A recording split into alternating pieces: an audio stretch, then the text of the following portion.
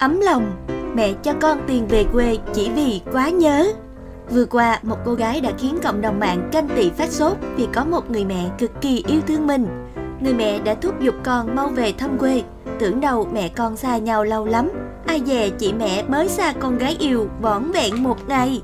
Theo đoạn clip, cô gái mới từ quê lên đã bị mẹ dục quay lại vì mẹ nhớ muốn chết. Nhưng do mới về, cộng thêm việc tốn kém tiền bạc nên cô gái đã từ chối. Ngay lập tức, mẹ hào phóng tuyên bố sẽ cho tiền để tài trợ chuyến đi này. Đúng là tiền thì mẹ không thiếu, chủ yếu là được gặp gái yêu của mẹ thôi. Gì mẹ? Điện hoài gì trời?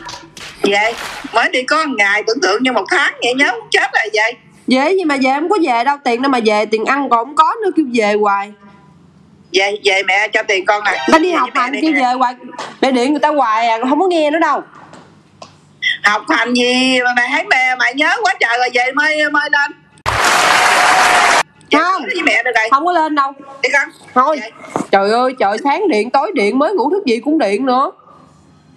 Ờ là trời nhớ nó điện nó nó cũng nói tới trời biết con này ngộ cái trời. Điện hoài không muốn nghe nữa đâu.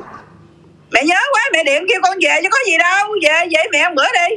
Bên dưới đoạn clip, nhiều người bày tỏ ngưỡng mộ cô gái vì có người mẹ quá tuyệt vời. Một số chàng trai còn đòi làm rể nhà mẹ vì cảm động trước tình cảm mẹ con là chính, mà cảm động trước tình trái, tài chính của mẹ thì tới 10 phần. Vài bình luận còn hài hước trêu chọc, mẹ thương con gái vậy thì con rể chắc cũng thơm lây. Cho con ở rể thì mẹ được gặp vợ con mỗi ngày luôn.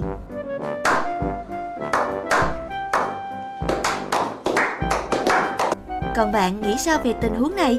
Hãy để lại bình luận bên dưới cho mình biết nhé. Cảm ơn các bạn đã quan tâm theo dõi kênh. Nhớ nhấn đăng ký kênh để cập nhật thêm nhiều tin mới mỗi ngày nhé.